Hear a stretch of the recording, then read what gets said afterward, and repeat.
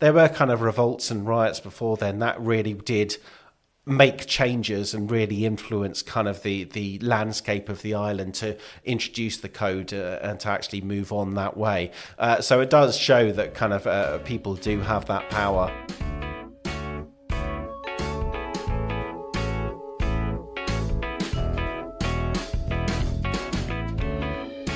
This weekend is a bank holiday weekend to mark the 250th anniversary of the Code of 1771. Many islanders' knowledge of that piece of legislation and the riots in St Helier that preceded it will be patchy at best, as this is not something that has been widely celebrated before. So, why are we celebrating the Corn Riots of 1769 and the laws that followed it?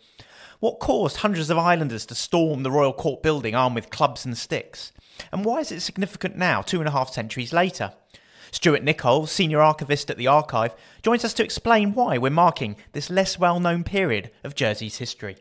Stuart, this weekend uh, we have an extra holiday, a bank holiday, to celebrate the 252nd anniversary of the Corn Riots, but the 250th anniversary of something called the, uh, the Code of Conduct of 1771. Before we get into the detail of the day, could you just explain uh, set the scene for us. Explain what it was like living in Jersey at that time and what were the issues as a, that were the precursor for, for, for this eventful day. Yes, of course. I mean, it's really interesting reading back and seeing exactly what's gone on um, at that particular time. Um, you can see at that time the power is particularly concentrated in a family, really. It's one family over here. So the bailiff and the governor didn't actually reside in the island, so actually the power lay with the lieutenant bailiff, who was Charles Lempriere at the time. So Charles Lempriere uh, had been uh, in charge of the island and actually had proven quite popular previously. He, um, they, uh, people used to drink toast to him, and kind of they used to say, uh, kind of da- damnation to the lieutenant governor and up with good Charles Lempriere. So it's interesting how his star kind of fell uh, from the uh, early 1700s 1700s to later on in the 1760s. Uh, you can see that um, kind of different people who opposed him uh, ended up, uh, they, they got into trouble with the law because he was the one who was really enforcing the law. Um, I mean, the island itself uh, is interesting. You obviously had kind of the the the, the Lempriere family, uh, kind of the top of the uh, of the island pyramid, really, mm. uh, and then you had people who, um, I mean, you look at the setup of the um, of the states at the time, um, and the the royal court at the time. You had his brother, who was attorney general. You had his brother-in-law, who was the um, receiver general um, and you had various uh, fathers, father-in-laws, cousins, etc., who were jurats. So it was so concentrated in that small kind of area of, of, of power. So just just to, to put it in the context of today, obviously we're used to having elected states members. Um, uh, with a bailiff who's non-elected but sits as president of the of the assembly but doesn't have a vote. It was very different then. So we didn't have elections. So was it effectively decisions were made by the jurats and the lieutenant bailiff? It was really. It was. I mean, that that's where it was. I mean, there was estates, but actually, a lot of times the royal court were making the laws, so there was a real kind of tension between the two. And again, mm. the lieutenant bailiff sat at the top of it, and kind of almost whatever he wanted went really. Um, and that's really one of the precursors to the building up of, of these these events in 1769 uh, because you had other people, kind of other upstanding members of, of, of kind of, of the Jersey elite, really, mm who didn't have this power, who wanted this power. And so you start seeing these tensions growing between uh, various personalities within the island. So there's a guy called Nicholas Fiott, who was a merchant, uh, a landowner, and you start seeing him have some tension with, with Lempriere and the Lempriere family, mm. which begins with um, they had a part ownership of uh, a boat together, and then it was sold out from under Fiott with no recourse from that. His son was actually um, uh, beaten at one of the one of the schools, um, and uh, they, he brought a case against the the teacher. Uh, but Lempriere had helped appoint the teacher, and so he kind of dismissed the case. And Fiott took this to the Privy Council because he was angry at this, and they backed the lieutenant bailiff. Um, eventually he brought cases against uh, the the lieutenant bailiff, saying actually he wasn't going to get a fair hearing uh, in the royal court, and he wanted his cases to be kind of held elsewhere.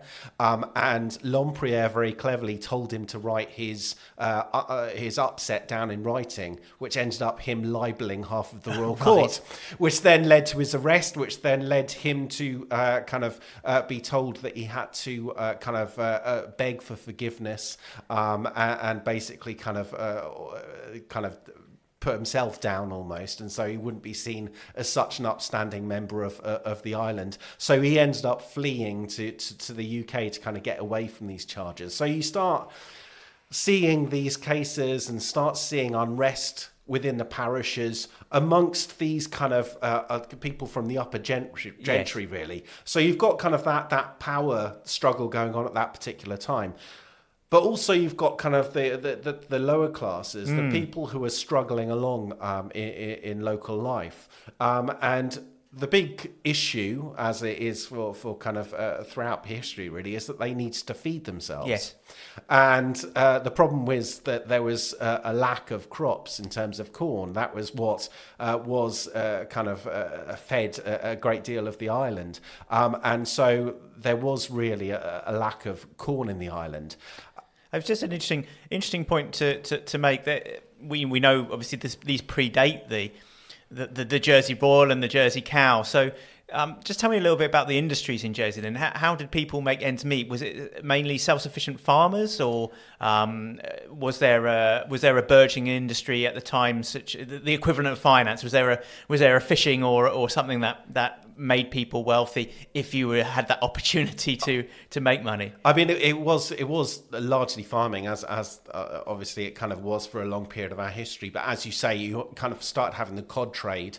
Uh, interestingly, 1768 was when the uh, Chamber of Commerce was set up. So mm. it was hmm. the first English speaking chamber of commerce in the world, set up by merchants. You had to be a ship owner in order to be a member of the Chamber of Commerce. And they were very much kind of starting to um, advocate to the states for different policies in terms of uh, protecting fisheries, taxation, uh, making sure their fleets were safe when there was tensions growing with France at the particular time. I see. And, and, so we, we, we've got this malaise growing about food on the table. Um, that could have been bad harvest, but obviously it was more than that. If it was, um, if there was, if it was directed to some extent around the, the ruling elites and the Lempriere family, what were they doing to upset the, the, the general populace as well as people like uh, like Nicholas Fiott? So, I mean, uh, the basis of uh, kind of the economy and land transactions at that particular time, they were all based around the cost of wheat. Uh, that you had rent, which were payments on, on, on land, which was uh, was basically measured against the cost of wheat at the time. Mm. Now, the largest landowners in the island and the people who would benefit most was the Lempriere family because as the receiver general, um, the receiver general paid a certain amount to the lieutenant governor, and any fines and any rent that he got above that, uh, he was able to keep himself. So uh, it was uh, in the Lempriere family's in- interest to, to keep that uh, the cost of uh, wheat high, so that they were receiving kind of the, the the wheat rent money was at a higher premium than it would necessarily be. So you start seeing there was some wheat brought in from the UK, and there had been a law the previous year uh, saying that the exportation of wheat would not be allowed anymore. Mm. However, just before the tension started, that law was taken away. It was actually allowed, and they were told that they could start exporting wheat once more to France.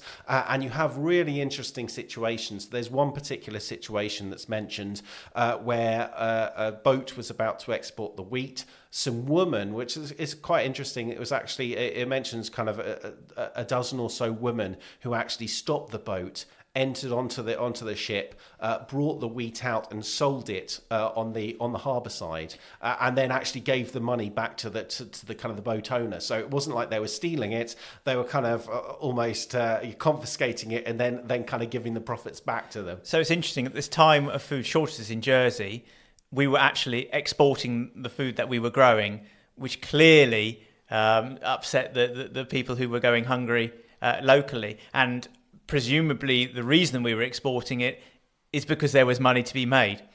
There was money to be made, and and obviously uh, the exportation of it meant that the wheat prices in the island was going to rise again.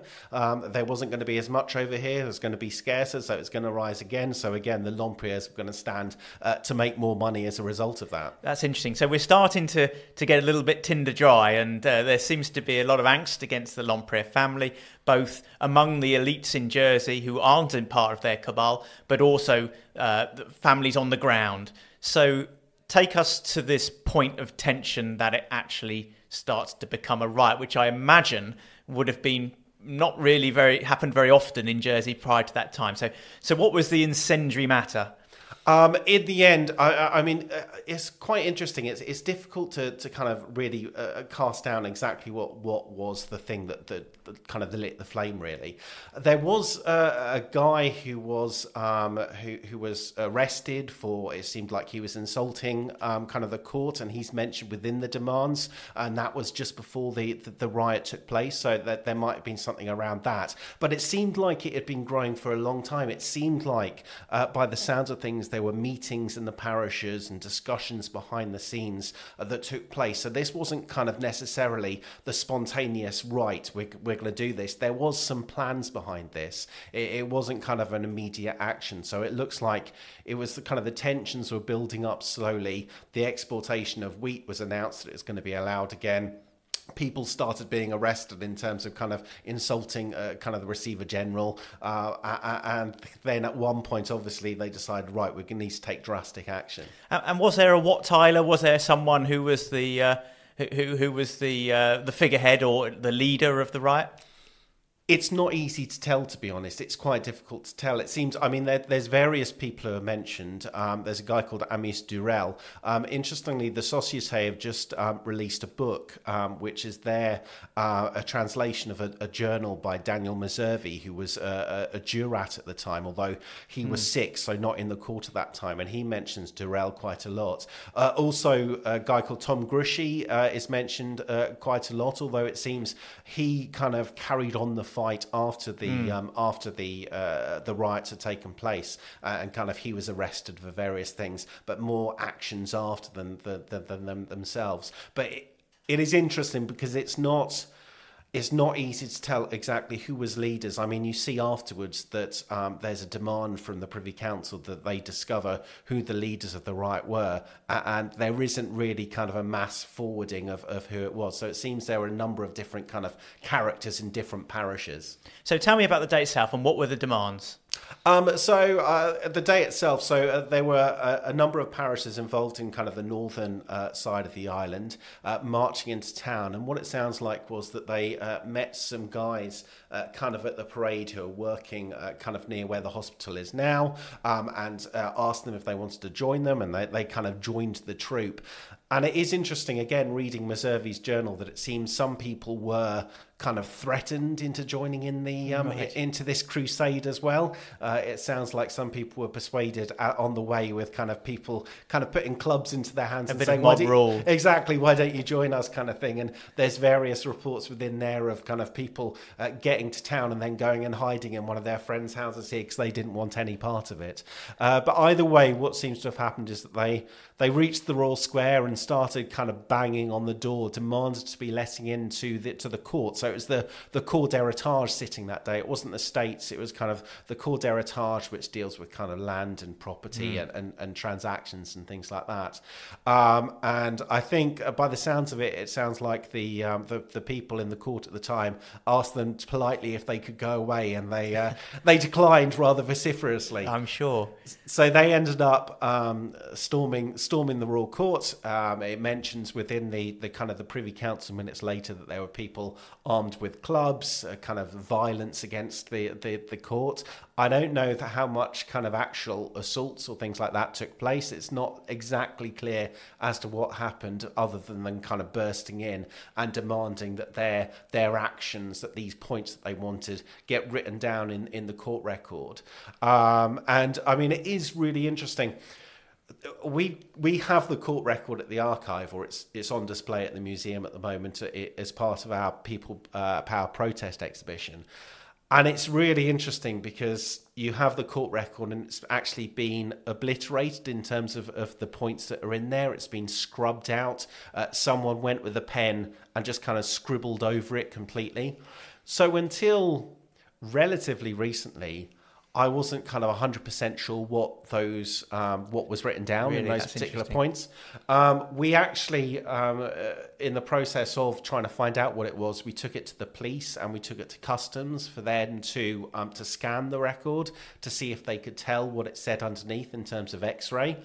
Unfortunately, because the deletion took place at more or less the same time and with the same ink as what is written kind of Yes. in the in the court. It was impossible to tell. However, this same uh, Daniel Messervy's journal that I was mentioning, actually, I found the book, and actually in the back of that, someone had meticulously gone through, basically kind of working out in between the scribbles exactly what was written down uh, in the court record at the time, uh, so actually kind of transcribe exactly what was mentioned on that day. And broadly, presumably they were asking for an end to taxes or lower taxes. They were asking for more wheat to become available. Was it those uh, immediate demands, or were they perhaps more systemic, as in um, the Lempriere family need to go? It was more immediate demands, but it, obviously those demand, demands were discussed before they reached the, the court. So there was again that element of uh, of kind of the lack of spontaneity that they had kind of chatted about what exactly they wanted uh, to present to the court and to be uh, read out a, a kind of around Jersey so people are aware of what these demands were. So you're right. I mean, it was taxation. It was kind of the cutting down of tithes. It was kind of cutting out of some of the seigneurs' kind of rights in terms of money that they would receive. Uh, there was actually they wanted uh, foreigners to stop being allowed to come into the island, so there was kind of an element of that as well within there. Um, and then it mentions Nicholas Fiott uh, being released as well. So Right. it is around uh, kind of taxation. It is around uh, obviously uh, kind of people who are worried about um, the uh, their wheat actually they didn't care too much about Nicholas Fiott. They didn't know too much about him. But obviously, those slightly higher kind of level people, the the people who didn't have the power but wanted the power, that was more kind of where they were coming from. So you can really see, uh, kind of, uh, it is interesting. Obviously. We talk about it as, as a revolt, but um, you, you kind of have that the, between the yeah the interests of the poor and the interests of the higher up, and they're all encompassed within uh, these demands that That's were set in front. Now, obviously, we've got the uh, an aftermath is the, the Code of 1771, but that's two years later. So, tell me, was the was the um, the riot considered a success immediately, or were the uh, were the ringleaders or were people associated with it arrested and jailed? And how did we get to the the code, which generally is, is what we're celebrating this weekend? Uh, how do we get to that point? So it's re- it's really interesting seeing what happened after it because after that such kind of a tense moment on the 28th you kind of expect things to carry on but actually almost after the event there's almost a period of calm where almost nothing happened these uh, orders were proclaimed in I think 11 out of the 12 parishes. Um, uh, they were kind of published within there and proclaimed to the populace there. Um, but it kind of calmed down. And then on the 6th of October, all of a sudden, the states fled to Elizabeth Castle and had a meeting at Lisbeth Castle. Now, whether they were truly in fear of their safety, whether there was anything to that, and Lempriere worried that he was going to get lynched if they had a meeting within the Royal Court building, or whether it looked good because they could say to, to kind of the to, to the royalty to the monarch that actually they'd had to flee for their safety and have a have a meeting at the castle in order to kind of make sure that they were safe. We're not 100% sure, but it's really interesting that all of a sudden, after about a week or so, they kind of sprung into action. Um, and from that meeting, um, which we've got, um, yeah, kind of it, it's unusual because of it, obviously it says it was held at Elizabeth Castle. Uh, from that meeting, they decided to send Lempriere and another couple of people uh, to the Privy Council in London to explain what had happened um, and obviously put over their side of the story uh, and to, to kind of to ask for help and to ask for some actions to be taken. That's interesting. And so moving on to the code. So um, presumably, is it a case of the Lempriere power starts to wane at this point? It is. I mean, it is really interesting. Um, you have um, uh, basically uh, a number of companies of uh, the military are sent over, um, and in charge of them is a man called uh, Rudolf Bentinck. Um, who I think his origins are Dutch, actually, but obviously Right. he was linked to, to kind of the UK at the time. And he was really sent over to start to investigate and see what exactly had taken place. And obviously, with this sudden influx of uh, kind of military men, things did stay calm and carried on being calm. But um, I, I kind of I think it's interesting because the protesters at one point say um, that uh, they might have expected kind of some protest when they arrived, but actually they kind of greeted them as saviors almost, kind of actually showing that they're kind of trying to get them on side uh, from the start. A mo- an equivalent of a royal commission coming over. It is, yeah, very much so. Uh, and Bentinck started going around, well, talking to obviously to the lieutenant bailiff and finding out what happened, but actually talking to so many different people. He went out to a lot of militia displays, so kind of the of basic militia kind of parading out to the parishes, talking to interested parties around the around the island. And you can see that he starts kind of getting an idea of exactly uh, what happened at the time and starts building up that actually it's not as clear cut. The first uh, Privy Council order is that uh, this was a, a kind of a, a- complete insult to the king uh, and demanded that action be taken and that they offered a hundred pounds for any informers that kind of led to the arrest of any of the ringleaders. Um, but the next one, you start seeing this this kind of situation soften, and this obviously comes from kind of Bentinck learning that actually everything wasn't as rosy as the kind of the Lemprieres had said, and that actually the people who were protesting had some right to protest and had some reasons to protest. Uh, so you start seeing um, uh, people in the parishes meeting and the kind of putting together petitions, putting together affidavits, uh, saying that actually can we have some uh, some kind of uh, help in in bringing tranquility to the island again uh, by introducing some new legislation that softens the power of, of kind of the lieutenant bailiff. That's really interesting. And then finally, uh, the, the the 1771. So this was something that was enshrined in Jersey law. What was actually what was actually decided then? What was enshrined? What what changed?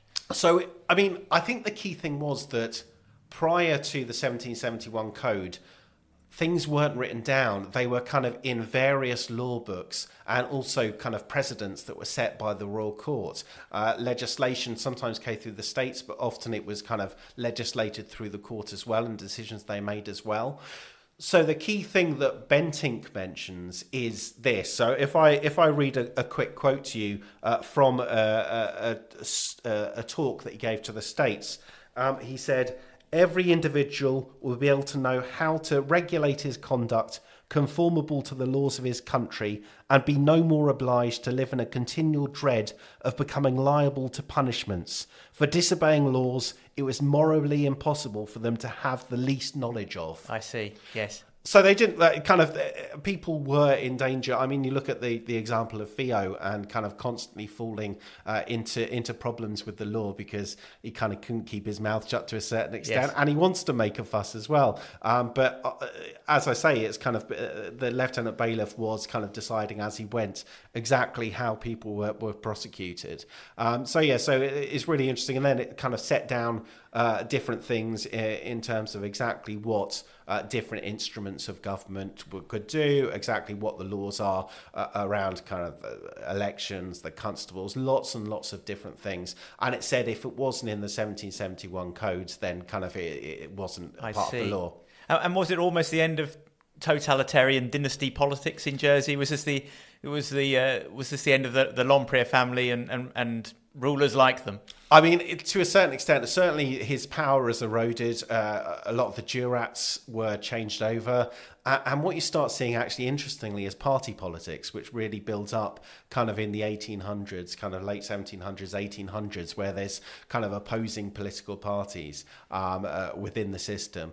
Um, but yes, kind of that that power is definitely you see that that erosion. His opponent was uh, was uh, named as lieutenant governor who was Moise Corbet, who ironically in a few years' time was the disgraced governor who kind of gave up the island and surrendered the island for the Battle of Jersey. Yes, that's right. Um, there was kind of the receiver general no longer received the amount of wheat that he'd kind of the, the amount of rent He had a kind of a set amount that he received that was set down. So it was no longer good for the Lempriere family to kind of make make money that way as well. So there's definitely you can see how uh, there's very much a kind of a democratization really of the island and moving towards uh, a, a, much more ideal system of government which hopefully we're doing still today. Yeah that's and, and this isn't a political question this is one to an archivist but what can what can we learn? What, what can that period of history teach us today? And and it's certainly why is it worth celebrating? I mean, I think it's uh, it is interesting. I, I, as I said, it is really kind of indicative of uh, people power to a certain extent mm. in terms of actually protest does make a difference, and that's uh, what my uh, we're, we're showing at the museum really at the moment. The corn riots is really kind of the start of that. Although there were there were kind of revolts and riots before then, that really did make changes and really influence kind of the the landscape of the island to introduce the code uh, and to actually move on that way. Uh, so it does show that kind of uh, people do have that power uh, to, to move the narrative and to move kind of where where we are in terms of, of our society. And in terms of events this weekend, I know you're you're from the the, uh, the heritage point of view. Have you have you got events on yourself that you're marking this weekend? So I mean, our big re- it, it is really the exhibition that, that I would urge people to go and see because it starts, as I say, with the corn riots, but then it, it goes out into the different uh, the different protests that have gone on uh, over time, kind of going up to very recent with kind of Black Lives Matter and uh, and things like that. Stuart, thank you so much for coming in. Pleasure. Thanks to Stuart Nicolle for talking with me today. And thank you for listening to the Bailiwick podcast. You can find the podcast on all the usual pod places. And don't forget to like and share. The music at the beginning and end of this podcast is I Shift My Weight by Luno. Tune in next week for more.